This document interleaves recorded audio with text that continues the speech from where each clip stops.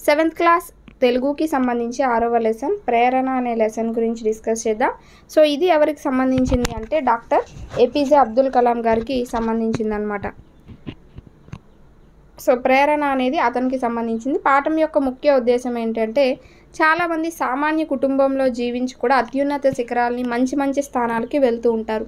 So అలాంటి యొక్క జీవిత చరిత్రని పిల్లలకి తెలియజేయడం ద్వారా వాళ్ళు కూడా ఎంతో కొంత మోటివేట్ అవుతారు. వాళ్ళల్లోని కూడా కొన్ని ఆకాంక్షలు అనేవి ఉంటాయి పెట్టుకుంటారు అనే ఉద్దేశంతో ఇక్కడ జీవిత లక్ష్యాన్ని ఏర్పరచుకోవడం అనే ఉద్దేశంతో ఈ పాఠ్యభాగం అనేది పిల్లలకి చెప్పడం జరుగుతుందన్నమాట. ఈ పాఠ్యభాగ వివరాలు కనుక చూసుకుంటే ఇది ఏ ప్రక్రియకి చెందింది అంటే ఆత్మకథకి సంబంధించింది. ఆత్మకథ అంటే ఎవరి యొక్క జీవితాన్ని వాళ్ళే చెప్పుకోవడం వాళ్ళే గ్రంథస్థం చేసుకోవడాన్ని ఆత్మకథ అని అంటూ ఉంటాం. సో ఆత్మకథని స్వీయ చరిత్ర అని కూడా అంటూ ఉంటారనమాట అంటే ఇందులో ఎలా అంటే సమకాలీన విషయాలనే ప్రతిబింబిస్తూ రచయితల యొక్క అనుభవాలు ఆ కాలంలో ఉండే కొన్ని పద్ధతులు రాజకీయ పరిస్థితులు ఇలాంటివన్నీ కూడా తెలి తెలియజేస్తూ ఉంటాయి అన్నమాట ఆత్మకథలు అనేవి సో ఈ ఆత్మకథలు అనేవి ఉత్తమ పురుష కథనంలో ఉంటూ ఉంటాయి. ఈ పాఠ్యభాగం అనేది అబ్దుల్ కలాం గారు అరుణ్ తివారీ గారితో కలిసి రాసిన ఒక జీవిత ఆత్మకథ అనే దాంట్లోంచి ప్రేరణ అనేది తీసుకోవడం జరిగింది. సో ఏపీజే అబ్దుల్ కలాం గారిని కనుక చూసుకుంటే ఇతని యొక్క పూర్తి పేరు అవుల్ పకీర్ జైనలుద్దీన్ అబ్దుల్ కలాం. ఇతను రామేశ్వరంలోని అంటే తమిళనాడులోని రామేశ్వరం దగ్గర ఉన్న ధనుష్ కోటిలో జన్మించారు. సో సామాన్యమైన కుటుంబం పట్టుదల సో ఇతనికి ఉన్న పట్టుదల క్రమశిక్షణ తెలుసుకోవాలనే కోరిక ఇవన్నీ కూడా ఇతన్ని ఇంజనీర్గా భారత రాష్ట్ర భారత రాష్ట్రపతిగా ఇలా చేశారనమాట అంటే ఇలా చేశాయి అతనికి ఉన్న ఆ క్వాలిటీస్ అన్నీ కూడా. సో ఇక్కడ ఒక విజేత ఆత్మకథ ignited minds the wings of fire and autobiography వంటి రచనలు అనేవి ఇతను చేశారు. శాస్త్ర రంగంలో ఎంతో కృషి అనేది చేసి పద్మ విభూషణ్ అనే అత్యున్నత పురస్కారాన్ని కూడా ఇతను తీసుకున్నారు. అలాగే భార భారతరత్నతో కూడా ఇతన్ని భారత ప్రభుత్వం అనేది సత్కరించడం జరిగింది. సో ఎన్నో దేశ విదేశాల్లో ఎన్నో డాక్టరేట్లు అనేవి కూడా ఇతను తీసుకోవడం జరిగింది. సో ఇప్పుడు అతని యొక్క ఆత్మకథ అనేది చూద్దాం. నేను రామనాథపురంలో హై స్కూల్లో స్థిరపడగానే నాలో పదిహేనేళ్ళ జిజ్ఞాసి మేల్కొన్నాడు. అంటే జిజ్ఞాసి మీన్స్ ఏదైనా తెలుసుకోవాలి అనే పట్టుదల కోరిక ఉన్నవారు.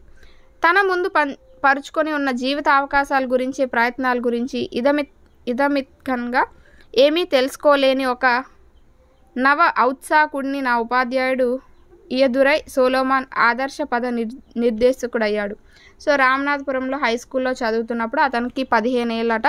సో ఆ వయసులో అతనికి అన్నీ తెలుసుకోవాలనే కోరిక ఉన్నవాడే మేల్కొన్నాడు అనమాట అన్నీ తెలుసుకోవాలి అని. సో ఆ తర్వాత జీవిత అవకాశాలు అంటే జీవితంలో ఏం చేయాలి ఏంటి అనేది తెలుసుకోవడానికి ఒక ఉత్సాహుడిగా అంటే చాలా ఉత్సాహవంతుడిగా ఉన్నప్పుడు అతని యొక్క ఉపాధ్యాయుడు సోలోమాన్ ఇయదురై సోలోమాన్ అనే అతను ఇతనికి ఒక మార్గదర్శికగా నిర్దేశకుడిగా తోచాడనమాట తన ఉదార విశాల దృక్పథంతో ఆయన తన తరగతిలోని విద్యార్థుల్ని ఉత్సాహపరిచేవాడు. మందబుద్ధి శిష్యుడు ఉత్తమ గురువు నుంచి నేర్చుకోగలిగిన దానికన్నా ఉత్తమ విద్యార్థి చెడ్డ ఉపాధ్యాయుడి నుంచి కూడా ఎక్కువ నేర్చుకోగలడనే వా వాడాయన. అంటే ఏమనేవాడట? సో అందరిలో తరగతిలో ఉన్న పిల్లలందరినీ కూడా ఉత్సాహపరిచేవాడంట. మీరు అది చేయగలరు ఇది చేయగలరు అన్నట్టుగా అలా పిల్లలందరిని ఉత్సాహపరుస్తూ ఏమనేవాడట? మందబుద్ధి గల శిష్యుడు ఉత్తమ గురువు నుంచి నేర్చుకునే దానికంటే ఉత్తమ విద్యార్థి ఏమీ రాని చెడ్డ ఉపాధ్యాయుడి నుంచే ఎక్కువ నేర్చుకోవచ్చు అని ఇతను చెప్తూ ఉండేవాడట. నేను రామనాథపురం ఉన్ సారీ నేను రామనాథపురంలో ఉన్న కాలంలో మా అనుబంధం గురు శిష్య బంధాన్ని దాటి వికసించింది. అంటే కొంతమంది చూడండి ఒక తండ్రి తల్లి కంటే చాలా బాగా మనల్ని కేర్ తీసుకోవడం కానీ మనం మంచి చెడులు చెప్పడం కానీ మనం ఏ బాటలో వెళ్తే మంచిగా ఉంటుంది మన జీవితం. ఇలాంటివన్నీ చెప్తూ ఉంటారు చాలామంది ఉపాధ్యాయులు. సో వాళ్ళు ఉపాధ్యాయుడు ఒక విద్యార్థి కంటే ఒక తల్లి తండ్రి ఇలాంటి స్థానంలో ఎక్కువగా ఉంటూ ఉంటారనమాట అంటే అంత దగ్గరగా ఉండి మన మంచి కోరుతూ ఉంటారు. సో అలా వీళ్ళకు కూడా ఆ బంధం అనేది దాటి ఇంకా బాగా బలపడింది. ఆయన సాహచర్యంతో సాహచర్యంలో ఒకరి జీవిత గమనాన్ని ఎవరైనా ఏ మేరకు ప్రభావితం చేయగలరో తెలుసుకున్నాను. సో అంటే మనం నిర్దేశించుకున్న ఈ జీవిత గమనాన్ని ఎవరైనా ఎలా నిర్దే అంటే ఎలా ప్రభావితం చేస్తారనేది ఇతను ఆ సమయంలో తెలుసుకున్నారట. ఎవరు? మన అబ్దుల్ కలాం గారు. ఎదురై సోలోమాన్ అంటుండేవారు. జీవితంలో విజయం పొందడానికి ఫలితాలు సాధించడానికి నువ్వు మూడు అంశాల మీద పట్టు సాధించాల్సి ఉంటుంది. కోరిక నమ్మకం ఆశ పెట్టుకోవడం. సో ఏదైనా మనం చేయాలి జీవితంలో ఏదైనా సాధించాలి అంటే కోరిక నమ్మకం ఆశ పెట్టుకోవడం అనే అంశాలపైన నువ్వు ముందు పట్టు సాధించాలి. ఆ తర్వాత ఏదైనా సాధించవచ్చు అని అతను చెప్తూ ఉండేవారట. తర్వాతి రోజుల్లో రివరెండ్గా మారిన సోలోమాన్ నాకు నేర్పింది ఇదే. నాకు ఏదన్నా సంభవించాలని నేను అనుకునే ముందు నేను దాన్ని గట్టిగా ఆకాంక్షించాలని అది తప్పక జరిగి తీరుతుందని ప్రగాఢంగా విశ్వ విశ్వసించాలని నేను? అంటే ఏదైనా జరగాలి అని అనుకుంటే ముందు అది ఖచ్చితంగా జరుగుతుంది అని కోరుకోవాలి. సో అది తప్పక జరుగుతుందని విశ్వసించాలి. ఇలా చేసినప్పుడే అది జరిగి తీరుతుంది అని ఇతను నమ్మారనమాట నా జీవితం నుంచి ఒక ఉదాహరణ ఇస్తాను. నాకు చిన్నప్పటి నుంచి ఆకాశపు రహస్యాలన్న పక్షుల ప్రయాణమన్న అమితాశక్తి కొంగలు సముద్రపు గువ్వలు ఎగురుతుండడం చూస్తూ నేను కూడా ఎగరాలని కోరుకునేవాను సో తెలుసు కదా ఇతను చిన్నప్పటి నుంచి పక్షుల్ని ఎక్కువగా చూస్తూ అవి ఎలా అయితే ఎగురుతున్నాయో నేను కూడా అలానే ఎగరాలి ఆకాశంలో అని అనుకుంటూ ఉండేవారనమాట మన అబ్దుల్ కలాం గారు. అయితే సాధారణ గ్రామీణ బాలుడు అయినప్పటికీ నేను కూడా ఏదో ఒక రోజు ఆకాశంలో విహరించగలనని ఎంత నమ్మానంటే మా రామేశ్వరం నుంచి ఆకాశయానం చేసిన మొదటి బాలుని నేనే కావడం విశేషం. అంటే ఇతను ఖచ్చితంగా నేను కూడా ఏదో ఒక రోజు ఇలా ఆకాశంలో ఎగురుతాను అని అనుకున్నాడట. సో అది ఎంతగా నమ్మాడంటే రామేశ్వరం నుంచి మొట్టమొదటి ఆకాశంలోకి వెళ్ళిన వ్యక్తి ఈ మన అబ్దుల్ కలాం గారి. అంటే అతని యొక్క నమ్మకం అనేది అంత బలంగా ఉన్నది కాబట్టి అది నెరవేరింది. ఈదురై సోలోమాన్ ఎందుకు గొప్ప ఉపాధ్యాయుడు అంటే ఆయన విద్యార్థులందరిలో ఏదో ఒక విలువ గురించి స్పృహను మేల్కొల్పేవాడు. ఆయన నా ఆత్మగౌరవాన్ని ఏ మేరకు మేల్కొల్పాడంటే ఏ మాత్రం చదువుకొని తల్లిదండ్రుల బిడ్డనైనా నేను కూడా ఏది కావాలంటే అది కాగలనని నమ్మాను. అంటే ఇతను ఈ సోలోమాన్ అనే అతను ఏం చేసేవారట? సో ప్రతి ఒక్కరిలో ఏదో ఒక విలువ అనేది ఉంటుంది. సో ఆ పిల్లలందరిని పిల్లలందరిలో కూడా ఆ విలువ అనేది మేల్కొలుపుతూ ఉండేవారట ఇతను. అలాగే మన అబ్దుల్ కలాం గారిలో కనుక చూసుకుంటే ఆత్మ గౌరవాన్ని ఎక్కువగా మేల్కొలుపుతూ ఉండేవారట. ఎంత అంటే ఒక మామూలు త మామూలు సామాన్య కుటుంబంలో పుట్టి ఇతను అనుకునే కళ అనేది సో చదువుకోలే అంటే ఎలాంటి చదువుకోలేని తల్లిదండ్రులకి పుట్టినా కూడా ఇతని యొక్క కళ అనేది ఇతను నెరవేర్చుకుంటాడు అనే అంతగా నమ్మేంతగా ఇతని ఆత్మగౌరవాన్ని పెంచాడట. విశ్వాసంతో నువ్వు నీ వీధిని కూడా తిరిగి రాగలవు అనేవారు ఆయన పంతొమ్మిది వందల యాభైలో ఇంటర్మీడియట్ పరీక్షకు చదవడానికి తిరుచినాపల్లిలోని ట్రిచి సెయింట్ జోసెఫ్ కాలేజ్లో చేరాను. పరీక్షల గ్రేడుల లెక్కను చూస్తే నేనేమంత చురుకైన విద్యార్థిని కాను. అంటే అయిపోయిన తర్వాత పంతొమ్మిది వందల యాభైలో ఇంటర్మీడియట్ కోసం తిరుచినాపల్లి అనేది వెళ్ళి అక్కడ చదివారట. సో మార్క్స్ ప్రక ప్రకారం కానీ గ్రేడ్ ప్రకారం కానీ చూస్తే ఇతను అంత చురుకైన విద్యార్థి కాదట. మా అన్నయ్య ముస్తఫా కమల్కి స్టేషన్ రోడ్లో ఒక కిరాణా దుకాణం ఉండేదట. హై స్కూల్లో చదువుకునేటప్పుడు నేను రామేశ్వరం వెళ్ళినప్పుడల్లా నన్ను సాయం చేయమంటూ పిలిచి షాప్లో కూర్చోబెట్టి అతను గంటలు గంటలు తరబడి ఎటో వెళ్ళిపోతూ ఉండేవాడు అనమాట సో అక్కడ బియ్యం నూనె ఉల్లిపాయలు ఇంక అన్నీ అమ్ముతూ ఉండేవాడట ఎవరు? మన అబ్దుల్ కలాం గారు. సో వాటిలో తొందరగా చెల్లిపోయేవి సిగరెట్లు బీడీలు. పేదవాళ్ళు తన కష్టార్జితాన్ని ఎందుకు అట్లా పొగ పీల్చేస్తుంటారని ఆశ్చర్యం కలిగేది. అంటే ఎందుకు ఇలా వాళ్ళు కష్టపడి వీటికి వ్యసనాలు వ్యసనం కింద అయిపోయే వాటికి ఎందుకు డబ్బులు తగిలేస్తున్నారు అనుకుంటూ ఇతను అనుకునేవారు అనమాట మా అన్నయ్య ముస్తఫా నన్ను వదిలిపెట్టగానే మా తమ్ముడు కాషిం మహమ్మద్ నన్ను తన ఫ్యాన్సీ షాప్లో కూర్చోబెట్టడానికి సిద్ధంగా ఉండేవాడు. అంటే అతను షాప్లోంచి వదిలేస్తే ఇతను సాయం చేయడానికి పిలుస్తూ ఉండేవాడు అనమాట అక్కడ నల్లగు నల్ల సారీ నత్తగుల్లలతో చేసిన శంఖాలతో చేసిన రకరకాల అలంకరణ సామాగ్రి అనేది ఆ షాప్లో ఫ్యాన్సీ షాప్లో ఉంటూ ఉండేదట. సో అలా సెయింట్ జోసెఫ్లోని మా ఉపాధ్యాయులంతా కంచి పారం పరమాచార్యకు అనుచరులు. త్యాగ నిరతి ద్వారా ఆనందించే గుణాన్ని ఆయన వాళ్ళలో మేల్కొల్పాడు. కళాశాల క్యాంపస్లో మా గణిత శాస్త్ర ఉపాధ్యాయులు ప్రొఫెసర్ తోతత్రి అయ్యంగర్ ప్రొఫెసర్ సూర్యనారాయణ శాస్త్రి గారితో కలిసి నడుస్తున్న ఆ దృశ్యం నాకు ఇప్పటికీ గుర్తొచ్చి ఉద్వేగభరితం చేసింది. సో అతను చదువుతున్నప్పుడు ఆ యొక్క జ్ఞాపకాలన్నీ గుర్తు తెచ్చుకుంటున్నారనమాట సో సెయింట్ జోసెఫ్లో చదివినప్పుడు ఉపాధ్యాయులంతా కూడా ఆ కంచి యొక్క పరమాచార్య కంచర్లు వాళ్ళు ఎంతో త్యాగ నిరతి అలాగే గుణాన్ని కలిగి మాలో కూడా వాటిని మేల్కొల్పేవారు. అక్కడ కళాశాలలోని గణిత ఉపాధ్యాయులతో నడిచిన జ్ఞాపకాలు అనేవి నాకు ఇప్పటికీ ఇంకా గుర్తున్నాయని అబ్దుల్ కలాం గారు వాటన్నింటినీ గుర్తు చేసుకుంటున్నారు. నేను సెయింట్ జోసెఫ్లో నా చివరి సంవత్సరం ఉన్నప్పుడు ఇంగ్లీష్ సాహిత్యం పట్ల మక్కువ పెంచుకున్నాను. ఇంగ్లీష్లోని సర్వశ్రేష్ఠ కృతుల్ని చదువుతుండేవాడిని. టాల్స్టాయ్ స్కాట్ హ్యాడ్లీల పట్ల ప్రత్యేక ఆసక్తి ఉండేది. అప్పుడప్పుడు తత్వశాస్త్ర గ్రంథాలు చదువుతుండేవాడిని. దాదాపు ఆ సమయంలోనే భౌతిక శాస్త్రం పట్ల నాకు అమితమైన ఆసక్తి ఏర్పడింది. సో సెయింట్ జోసెఫ్ కాలేజ్లో చివరి అంటే ఇంకా లాస్ట్ ఇయర్ చదువుతున్నప్పుడు ఇంగ్లీష్ పైన బాగా ఇంట్రెస్ట్ వచ్చి అన్ని బుక్స్ చదువుతూ ఉండేవారట. ఇంగ్లీషే కాకుండా ఈ తత్వశాస్త్రం ఇవన్నీ కూడా చదువుతూ ఉండేవారట. అప్పుడే ఇతనికి ఫస్ట్ టైం భౌతిక శాస్త్రం పైన కూడా ఆసక్తి అనేది వచ్చిందట. కొంతమంది మనుషులు సైన్స్ అనేది వేరే అంశం ఒక అంశం ఉన్నట్టుగా అది మనిషిని భగవంతుడి నుంచి దూరం చేస్తున్నట్టుగా ఎందుకో మాట్లాడుతూ ఉంటారని? ఎందుకు మాట్లాడతారో నాకు అర్థం కాదు. విజ్ఞాన శాస్త్ర పదం మానవ హృదయ వీధుల్లోంచి సాగిపోయేదే. నాకైతే సైన్స్ ఎప్పుడూ ఆధ్యాత్మిక ఉన్నతికి ఆత్మ సాక్షాత్కారికి సాక్షాత్కారానికి మార్గంగానే ఉంటూ వచ్చింది. అంటే ఏమంటున్నారంటే సో చాలామంది సైన్స్ నమ్మిన వాళ్ళు దేవుణ్ణి నమ్మరనమాట వ్యతిరేకిస్తూ ఉంటారు. సో భూమి ఎలా పుట్టింది అంటే సపోజ్ దేవుడే పుట్టించాడంటే లేదు భూమి ఇలా పుట్టిందని కొంతమంది. ఇలా దేవుడిని ఆధ్యాత్మికతని దూరం చేస్తుంది సైన్స్ అని చాలామంది అంటూ ఉండేవారట. ఇతనికి ఎందుకు ఆ విధంగా అంటున్నారు అనేది అర్థమయ్యేది కాదట.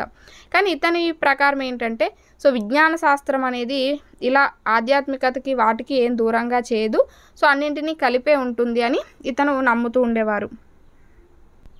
సో నెక్స్ట్ సెయింట్ జోసెఫ్లో బీఎస్సీ డిగ్రీ కోర్సులో చేరినప్పుడు అంతకు మించిన ఉన్నత చదువేమీ నాకు తెలియదు.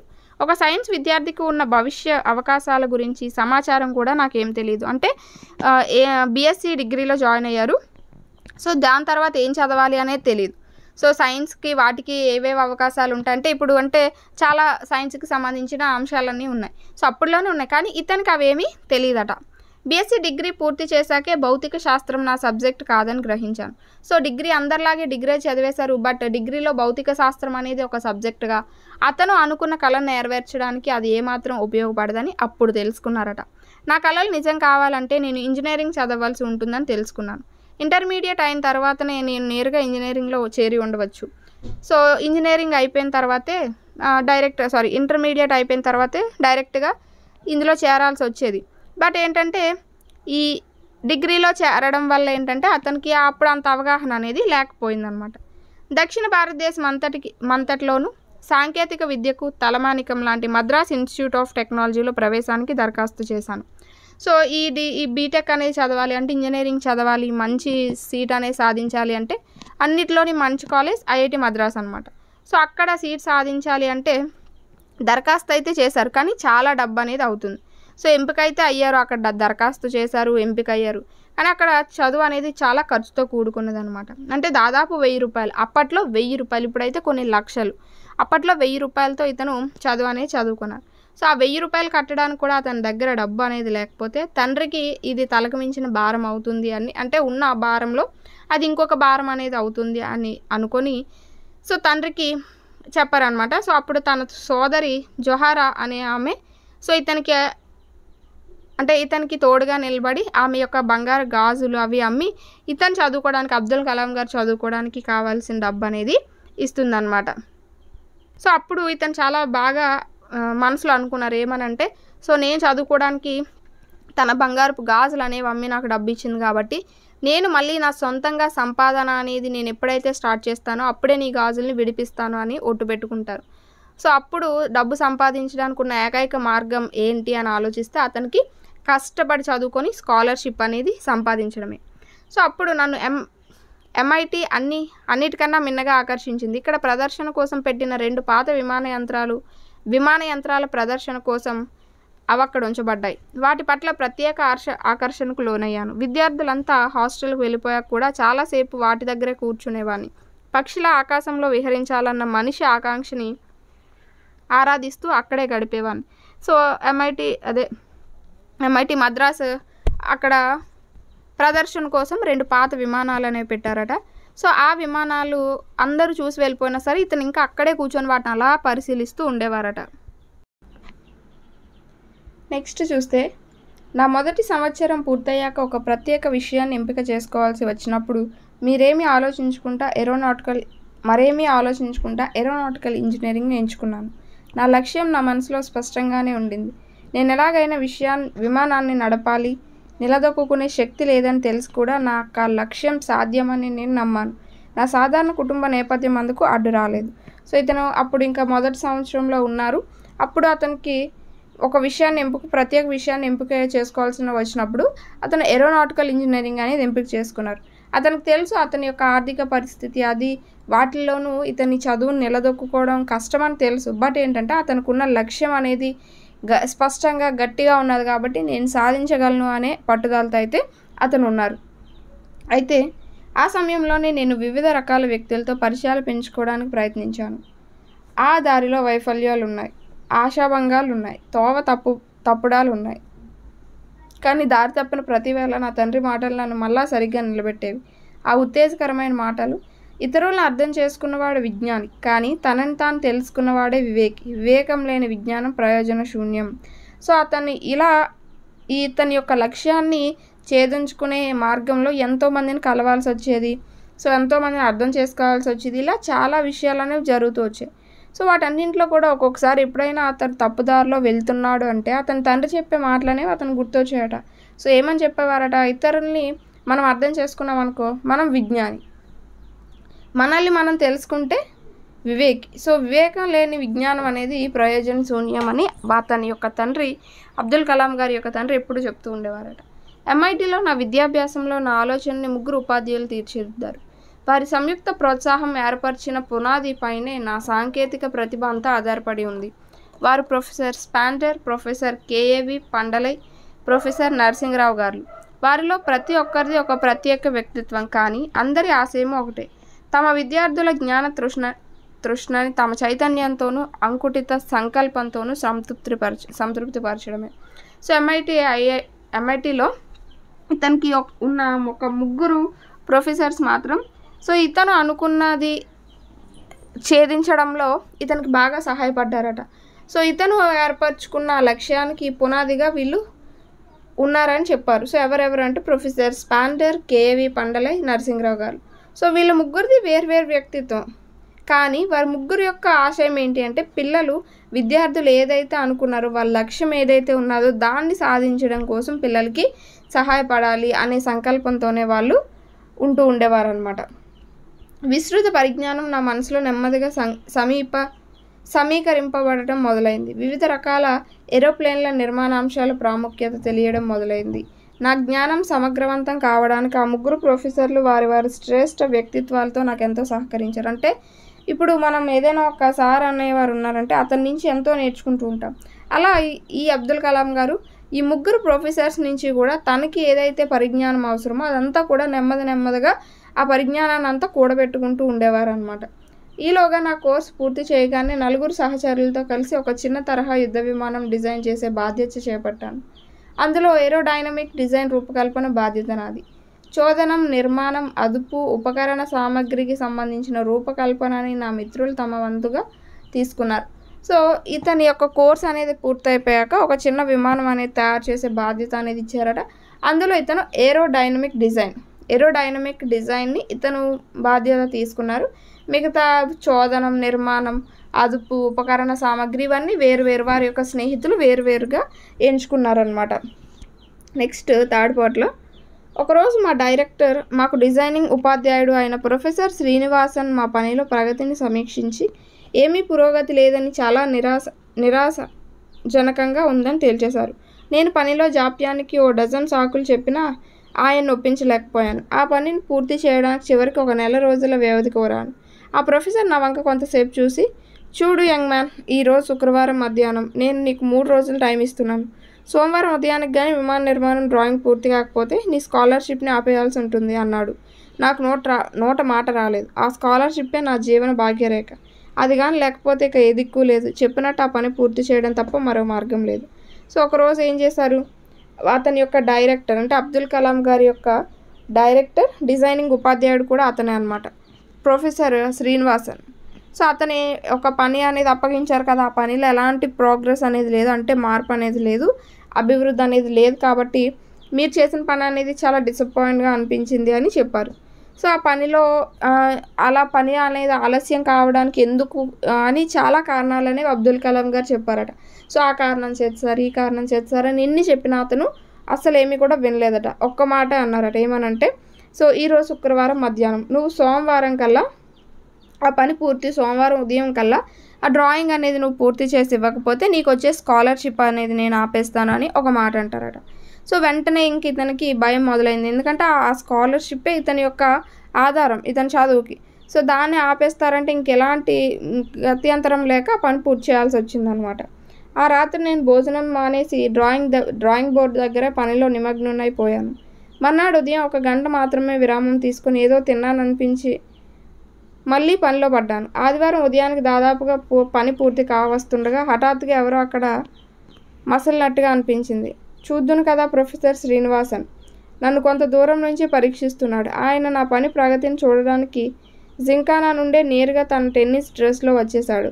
నా పనితీరు పరిశీలించాక ప్రొఫెసర్ శ్రీనివాస్ నన్ను ఆప్యాయంగా కౌగులించుకుని ప్రశ్ ప్రశంసాత్మకంగా వెనుతట్టాడు నాకు తెలుసు నిన్ను ఒత్తిడి చేస్తున్నానని అసాధ్యమైన పరిస్థితికి నెడుతున్నానని కూడా తెలుసు. కానీ నువ్వింత చక్కగా ఈ పని పూర్తి చేయగలవని ఊహించలేదు అన్నాడట. సో ఏమైంది? ఒక పని అనేది అప్పగించారు కదా. సో ఎలా లేదన్నా సోమవారం ఉదయానికి పని చేయమన్నారు. ఇంక ఇతను ఏం చేశారు? అబ్దుల్ కలాం గారు బోర్డు దగ్గరే డ్రాయింగ్ బోర్డు దగ్గరే కూర్చొని అన్నీ చేస్తున్నారు తర్వాత రోజు ఉదయం కూడా అంటే శనివారం రోజు కూడా ఒక గంట ఏదో తినాలని అనిపించేసి మళ్ళీ ఇంకా పని ఆ రోజంతా కూడా పనిలోనే ఉన్నారు. సో ఆదివారం ఉదయానికి చాలా వరకు ఈ పని అనేది పూర్తవుతుంది అనమాట సో ఎవరో అక్కడ ఉన్న ఉన్నట్టుగా అనిపించింది. ఎవరికి? అబ్దుల్ కలాం గారికి. ఇంకేంటి చూస్తే అతని యొక్క ప్రొఫెసర్ శ్రీనివాసన్.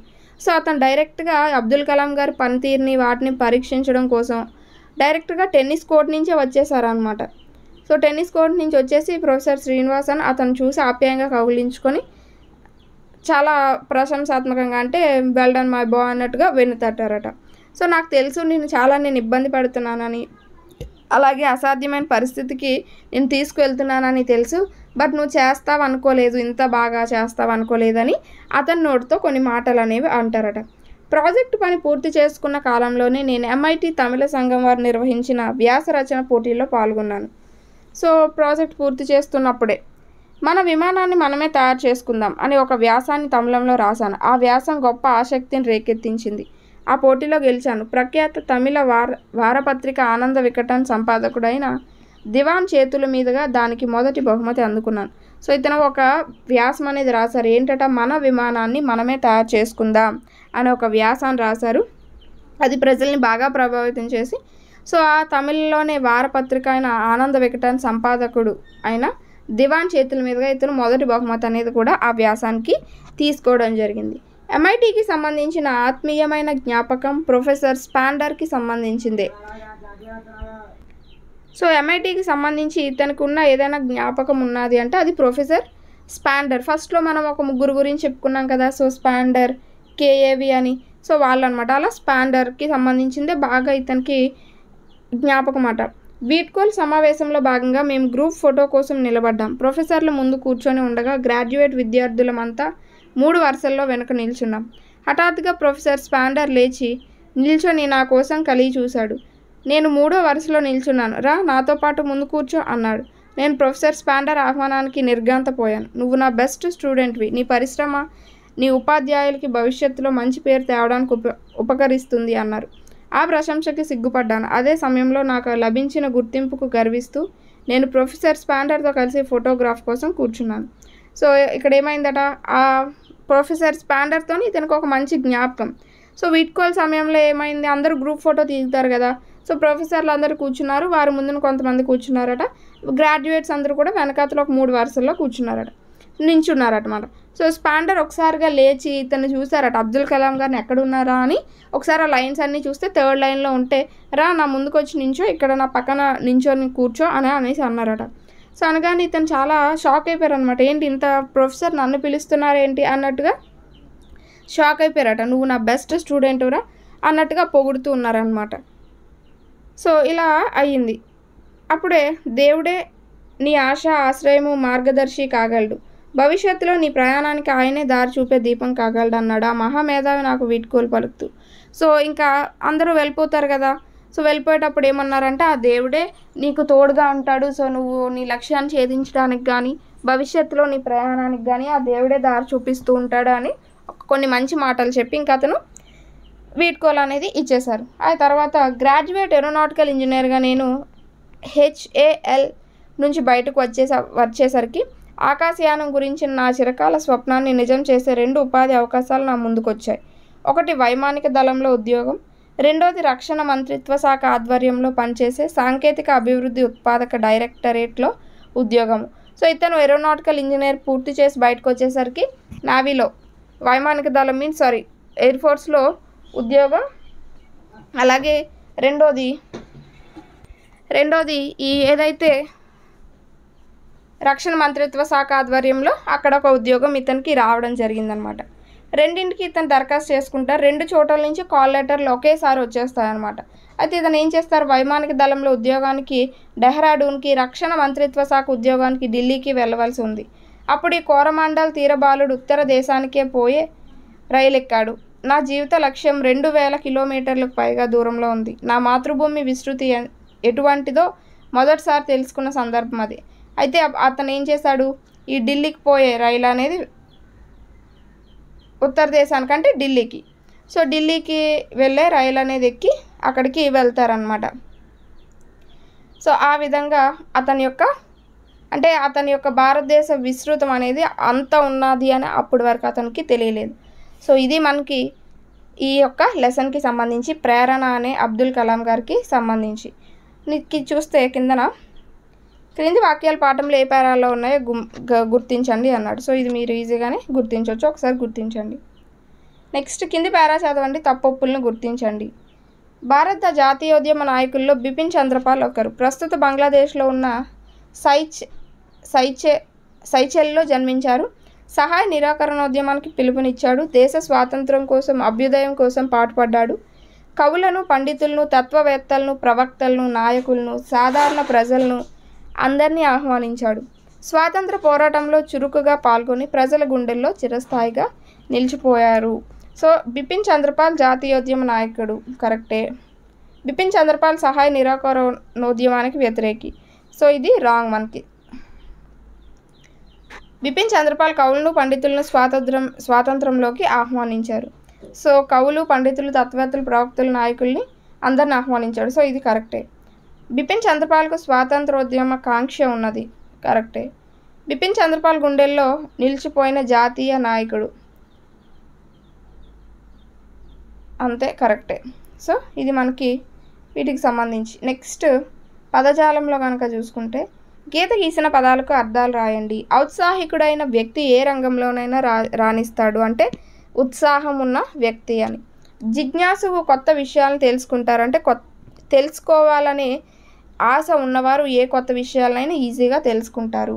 సో తెలుసుకోవాలనే ఆశ ఉత్సాహవంతులు సుష్మితకు డాక్టర్గా ఎదగాలని ఆకాంక్ష కోరిక. ఆకాంక్ష అంటే కోరిక. అభ్యర్థులు ఎన్నికల సమయంలో వాగ్దానాలు చేస్తారు అంటే మాట ఇవ్వడం ఒడ్డు పెట్టడం ఇలాంటివి అనమాట నెక్స్ట్ క్రింది వాక్యాల్లో సమానార్థకాన్ని ఇచ్చే పదాలు ఉన్నాయి వాటిని గుర్తించి రాయండి అన్నారు. ఆకాశంలో చుక్కలు మెరుస్తున్నాయి ఆ గగనంలో చంద్రుడు కాంతులీనుతున్నాడు అందుకే నింగి అంటే నాకు ఎంతో ఇష్టం. ఆకాశం నింగి గగనం. ఆకాశం నింగి గగనం అన్నమాట. అలాగే భూమి మీద ఎన్నో జీవరాశులు ఉన్నాయి అదే వసుధలో నిధి నిక్షేపాలు ఉంటాయి అట్టి ధరణికి వృక్షాలు సారీ అందాన్ని ఇస్తాయి భూమి అలాగే వసుధ ధరణి. భూమి వసుధ ధరణి అనేవి సమానార్థక పదాలు. ఆయనకు సుమారు ముప్పై ఏళ్ళు. ఉద్యోగంలో చేరి ఇంచుమించు ఆరు సంవత్సరాలు అయింది ఏడాదికి దాదాపు రెండు లక్షలు సంపాదిస్తున్నాడు. సుమారు దాదాపు ఇంచుమించు ఇవన్నీ కూడా. నెక్స్ట్ కిరణ్కు కలెక్టర్ కావాలని కోరిక తన ఆకాంక్ష నెరవేరడానికి నిరంతరం శ్రమించాడు. పరీక్ష ఫలితాలు రాగానే తన వాంఛ నెరవేరిందని సంతోషించాడు. కోరిక ఆకాంక్ష వాంఛ ఇవన్నీ ఒక్కటే అనమాట నెక్స్ట్ భాషను గురించి తెలుసుకుందాం. భాషను గురించి తెలుసుకుందాంలో ఇక్కడ చూస్తే ఫస్ట్ మొదలయ్యింది. దాన్ని విడదీయండి. మొదలు ప్లస్ అయ్యింది. మొదలయ్యిందిని మొదలు ప్లస్ అయ్యింది. మొదలు ఇక్కడ ఏ శబ్దం వస్తుంది? ఏ వచ్చి వస్తుంది? ఊ. మొదలు ప్లస్ ఆ. సో ఆకి ఇక్కడ ఊ సారీ ఊకి ఆ అనేది పరమైంది. ఇప్పుడు ఇది ఏ సంధి? ఉత్వ సంధి. సో మొదలయ్యింది మొదలు ప్లస్ అయ్యింది అనేది ఉత్వ సంధి. నెక్స్ట్ మేల్కొల్పాడంటే మేల్కొల్పు మేల్కొల్పు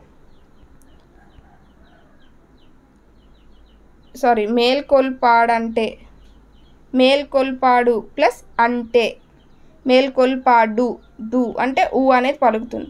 ప్లస్ అంటే ఊకి ఆ అనేది పరమైంది. సో ఇక్కడ కూడా మనకి ఇది ఉత్వ సంధి అవుతుంది. ఉంటుందని ఉంటుందని ని ఉంటుంది ప్లస్ అని. ఉంటుంది అంటే ఈ అనేది వస్తుంది. ప్లస్ అని అచ్చ అనేది పరమవుతుంది. ఈకి ఆ అనేది పరమవుతుంది కాబట్టి ఇక్కడ ఇది ఇత్వ సంధి అవుతుంది. అలాగే నాకు ఇప్పటికీ నాకు ప్లస్ ఇప్పటికీ నాకు ప్లస్ ఇప్పటికీ. నాకు ఊ అనేది వస్తుంది. ఊకి ఈ అనేది పరమైంది. అంటే ఊకి అచ్చు అనేది పరమైంది కాబట్టి ఇది ఉత్వసంధి. నాకు ఇప్పటికీ అనేది ఉత్వసంధి అవుతుంది. అలాగే నైపుణ్యం ఉందో నైపుణ్యం ప్లస్ ఉందో నైపుణ్యం ప్లస్ ఉందో నైపుణ్యము ప్లస్ ఉందో. ఇక్కడ నైపుణ్యము ము అంటే ఊ అనేది పలుకుతుంది. ము ప్లస్ ఊ. ఊకి ఊ అనేది అచ్చు పరమైతే ఇది కూడా ఉత్వసంధి కింద మనం చెప్పుకోవచ్చు. నెక్స్ట్ సో ఇక్కడ మనకి ప్రత్యయాల గురించి ఇచ్చాడు. ఏ విభక్తికి చెందినవో కొన్ని ప్రత్యయాలు అనేవి ఇచ్చి ఏ విభక్తికి చెందినవో రాయమన్నారు. ఇక్కడ చూడండి. ఆదిత్య మంచి బాలుడు సూర్యనారాయణ శాస్త్రితో నడి నటి సారీ నడిచాను. ఆయనను కొరకు యొక్క అందు ఓ ఇలా మనకి కొన్ని ప్రత్యయాలు అనేవి ఇచ్చాడు. అవి ఏ విభక్తికి చెందినవో రాయమన్నారు. ఫస్ట్ చూస్తే డు మూవులు ప్రథమ విభక్తి. చేతన్ చేన్ తోడన్ తోన్. ఏంటది? తృతీయ విభక్తి. తో అనేది వచ్చింది తృతీయ విభక్తి. ఆయనను ను అనేది ద్వితీయ విభక్తి. నిన్ నున్లను కూర్చి గురించి అదేంటి? ద్వితీయ విభక్తి. సో ను అనేది ద్వితీయ విభక్తి. కొరకు చతుర్థి విభక్తి. యొక్క షష్ఠి విభక్తి. అందు సప్తమి విభక్తి. ఓ ఓయి ఓసి అనేవి మనకి సంబోధన ప్రథమ విభక్తి. సో ఈ విధంగా అయితే మనం రాసుకోవచ్చు. సో ఇది మనకి లెసన్కి సంబంధించి. నెక్స్ట్ వీడియోలో మనం శిల్పి అనే లెసన్ గురించి డిస్కస్ చేద్దాం. థ్యాంక్స్ ఫర్ వాచింగ్ నెక్స్ట్ వీడియోతో అయితే మళ్ళీ కలుద్దాం.